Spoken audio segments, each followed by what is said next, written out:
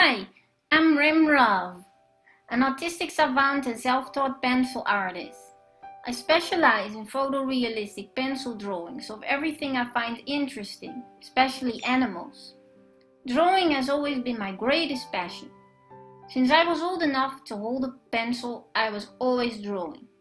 And this continues to help me with the challenges I face as an autistic person. I see and experience the whole world differently in many tiny little details. All those details can be very overwhelming, but also very beautiful and sparkly. And this view of the world also helps me to create very detailed pencil drawings as well. I would love to get my drawings more out into the world.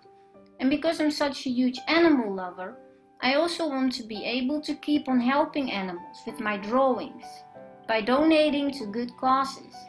You can help me keep on doing this by becoming my patron on Patreon, a crowdfunding platform where you can support your favorite creators with a monthly pledge. And in exchange, you can get access to special stories behind my drawings, my process, my struggles, and my delight. So come on board, step into my drawings, and see the world through my eyes.